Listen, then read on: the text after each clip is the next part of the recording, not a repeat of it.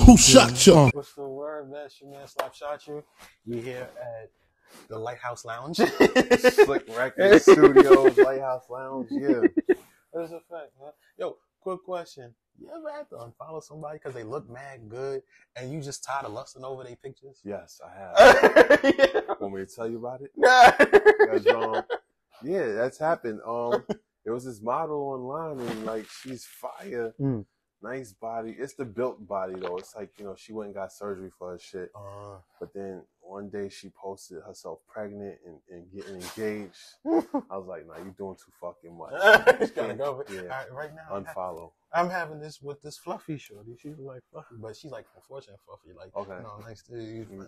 And Yeah. they were like, I tried to holler at her, and um, what you call it, and you know, I got the number and everything like that. We talked, but just she just seemed that uninterested. So I was just like, you know what, you ain't on my dick enough to, you know, where I need you to be on my dick, and so I gotta, you know what I'm saying? What I'm saying? But understand. yeah, so I so I felt back, but you know, she's still on my Twitter and shit, so she be posting mad pictures and shit. I'll be like. Ah, It's just be mad lusty, and I just want to say mad thirsty shit. yeah. And I was like, nah, that's never been my style, so I'm about to unfollow or mute.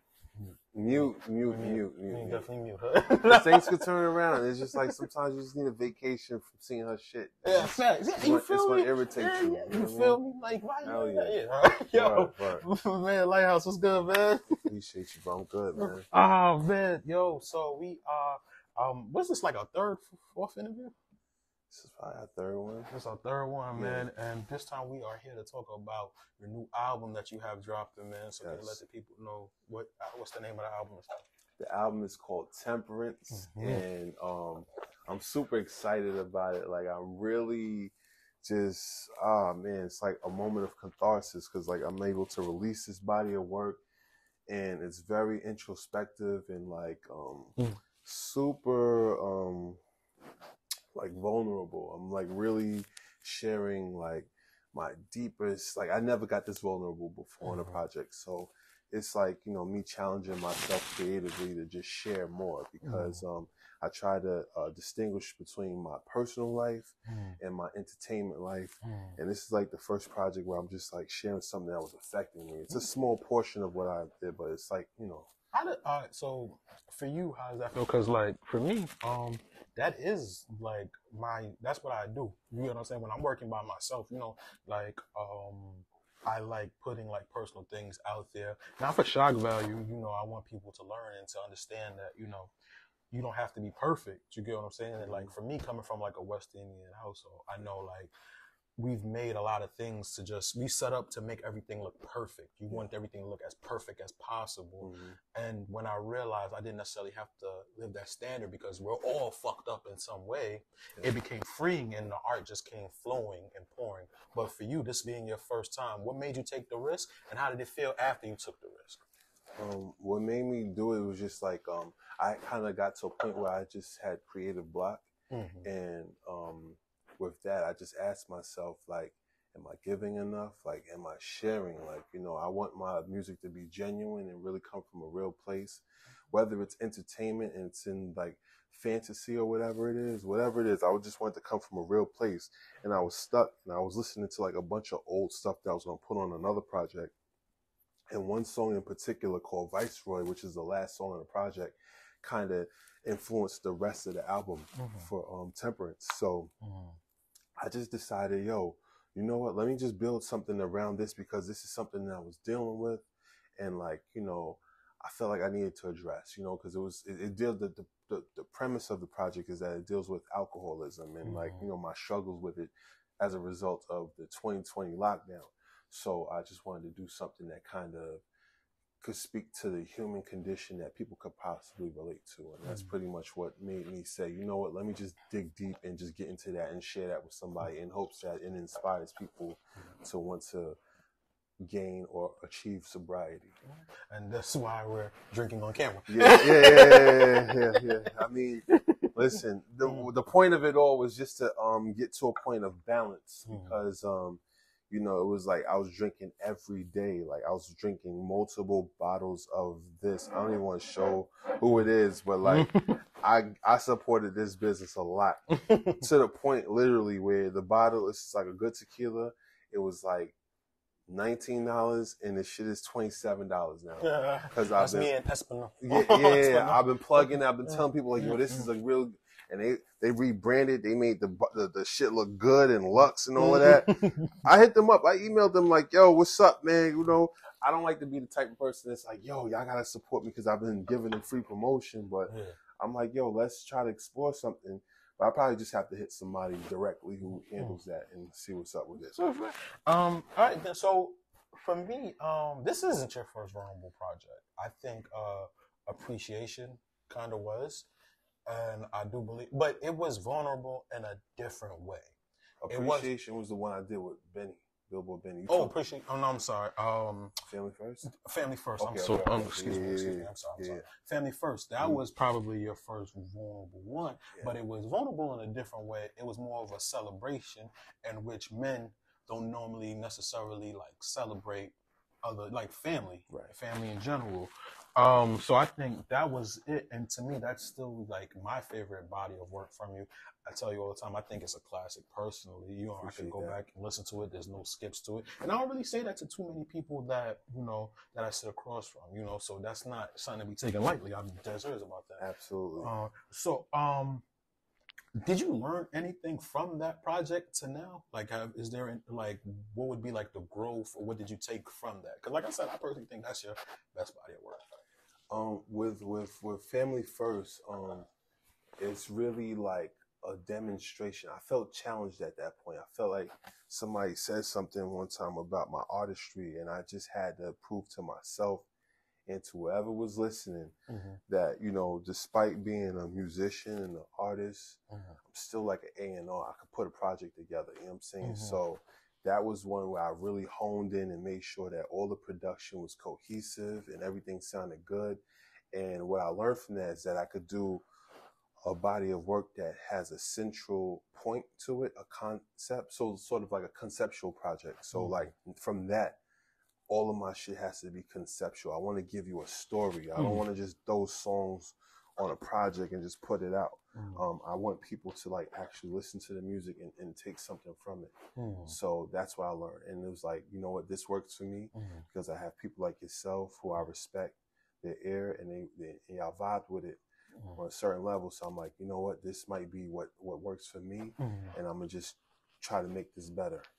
So temperance is that, but just from a perspective of someone who's dealing with alcoholism. I got you. Um, the first single was "Cut Off." Was the "Cut Off" right? What No, Cutoff was just a standalone single. Uh-huh. The first single for this was Fly Shit Only. Fly Shit Only, Okay. Yeah, so Fly Shit Only is essentially just like when you listen to the project, it's a sequence of me like actually dealing with drunkenness Mhm. and then my realization that I'm drunk and like I want to do better for myself Mhm. and then ascending to a level where I'm aware of it and I'm actually practicing sobriety. So it's a journey, you know what I mean? Mhm. So Fly Shit Only kind of is in the reckless part of the project where you know your drinking causes you to just do haphazard shit where you're not, you know, you're not putting the best thoughts forward. You're just talking reckless. So it's just Mm. like a little bit of me, you know, just flexing my lyrical shit, Mm. but just in a party setting. Like the beat is kind of like more high tempo, you know. I got you. Yeah. So when you put so much work into a project, are you nervous about releasing it? Um, sometimes, yeah, but then like once it comes together and like once I get like the people who opinion matters the most to hear it and they're like, yeah, this is it. Then my confidence is through the roof and it's just like I did this and if like people with sound minds can appreciate what I did, it don't sound crazy.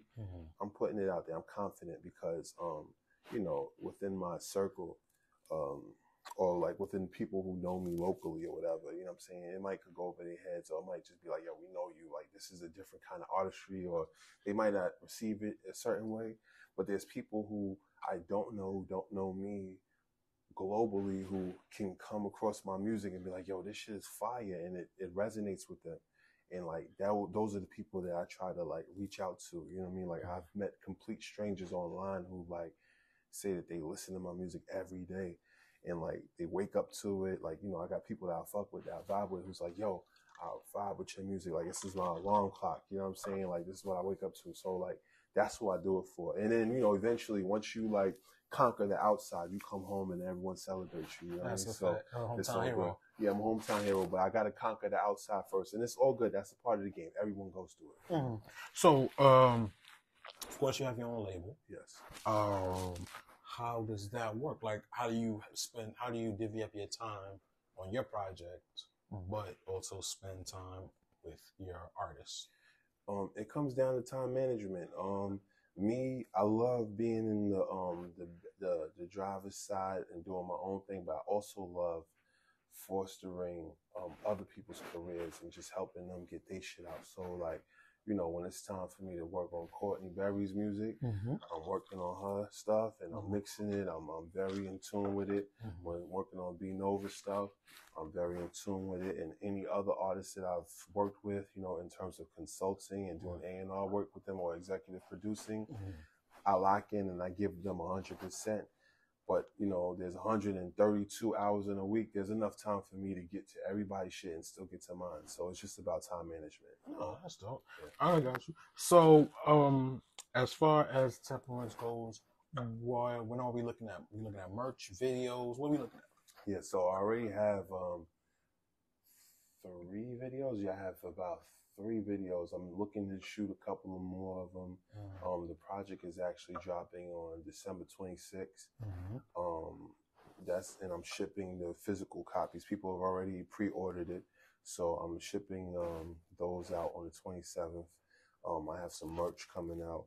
I'm gonna be putting on cassette, CD, and vinyl Mhm. for those that don't know, those are actually viable um, uh, products, sources of income.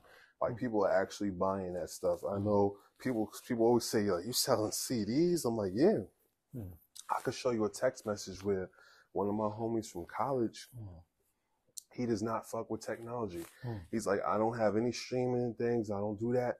He has a CD player that he walks around with and puts double A batteries in Mhm. and he appreciates CDs. And he's like, "This is the first time I'm actually gonna be able to listen to your music because you have it on CD." I'm like, "Bro, I've had all my projects on CD, so you're gonna have to start copping up."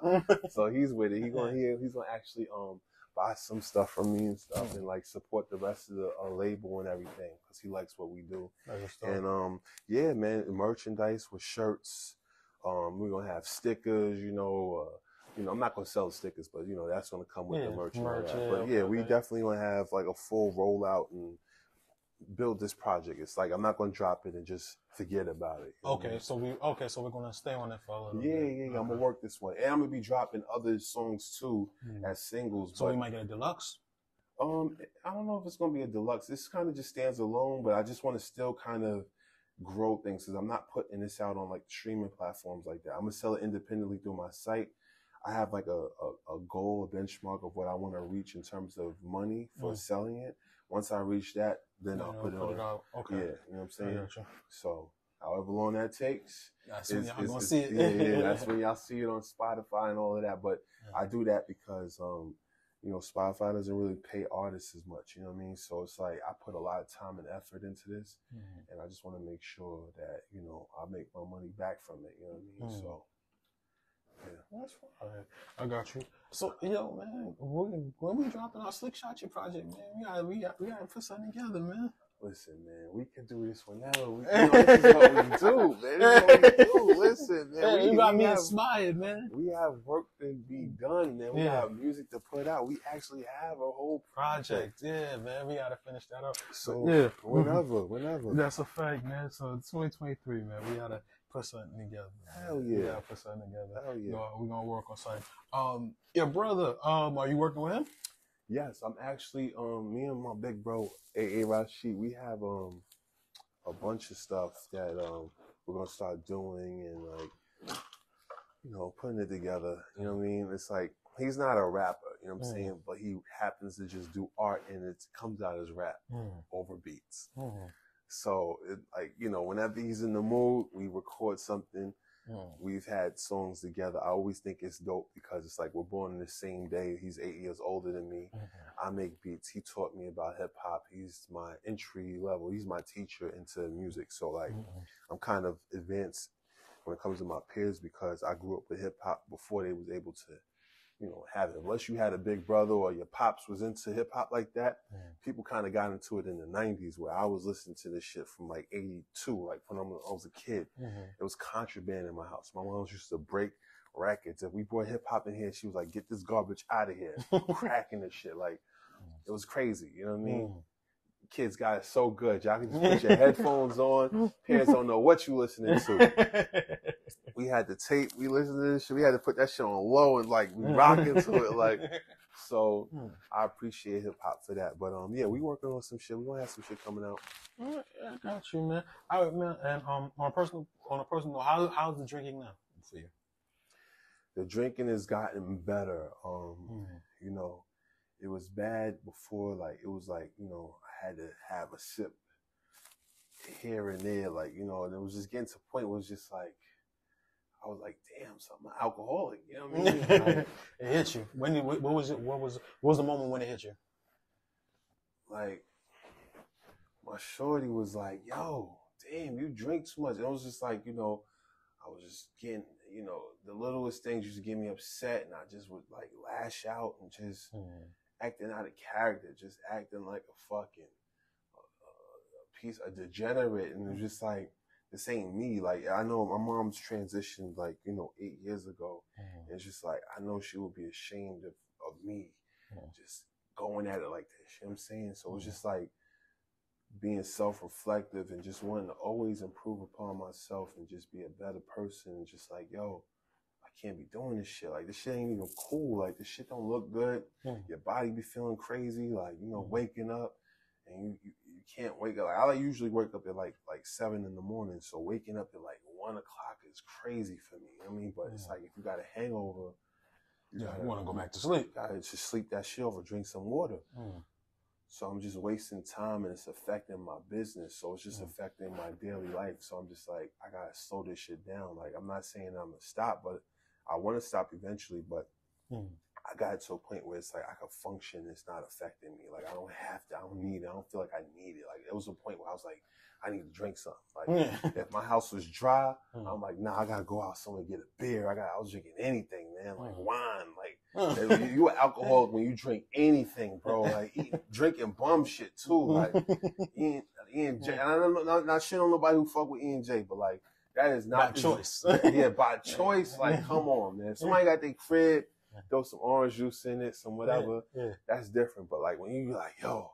You got a little nip of that, let me get a little bump of that. I was like, yo, I was just on some fiend shit. So I was like, nah, Mm. I'm gonna start losing teeth. I'm gonna look crazy out here, man. You know? You gonna start getting the shakes. Yeah, yeah. I'm like, you know, like, you know what I mean? So, Yeah, facts. Mm. yeah. I got you, man.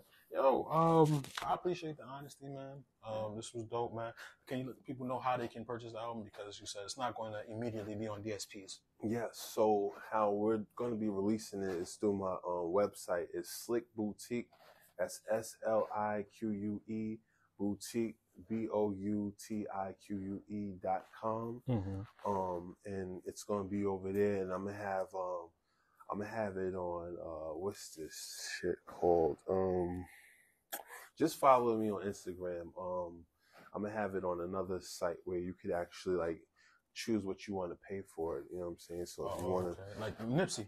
Yeah, it's Okay, like if you like want to pay pay. five dollars, Mm. ten dollars, fifty dollars, whatever, Mm. I accept it all. Mm. I just want people to listen to it and just like hear what I was going through and hopefully be inspired, share with somebody else who prob- probably going through it, you know. Mm. Because I've already told people about it. Like, damn, like this is what we need, you know, like Mm. just things that speak to humanity. Like, you know, this is like We still, a lot relatable of people still recovering from the pandemic. You get what That I'm saying? shit fucked we still up. in the we that like I just seen or what you call it. Uh, shout out to my brother Pre. Um, he just put out like, damn, he was like, yo, this Meg and Tory shit just keep taking us back to 2020. We want to be over that time period. Word. Yeah, It's some real shit. Shout out to Pre, bro. Mhm. Word. That's it's some real shit. That's Um, yeah, man. Uh, yeah, I just wanna, you know, I'm gonna have it out there for y'all. It's gonna be on my website, lighthou5e.com. That's L I G H T H O U 5 E dot com. Mhm. Um, yeah, man. Follow me, Book Lighthouse, B O O K Lighthouse, L I G H O U five E. Yeah, Yeah, replace the S with a five. replace the S with a five. Yeah, That's a fact. and um, you know, I have all the information there. Um, just want y'all to check it out and Mm. just hopefully take something from it. You know what I'm saying? That's a fact, man. That's a fact. I appreciate you, bro. I appreciate you too. Thank alright. you for your time, my Nah, brother. man. Uh, this was dope, man. So I'm looking forward to hearing it, man. I want to hear thing through Yeah. and through as a collective body, man. Yeah. Uh, I'm gonna let you know exactly how I feel about it. You know, I already, keep I it- already know you know, man. you. Like, listen, You know, I keep it a bean with keep you. it a bean for sure. That's a fact, man. Once again, your man Slops shot you here. Uh, back outside, man. Appreciate you having me over. Yeah. Uh, T behind the camera, as always, as usual, man. And we out. Yeah. Who shot you?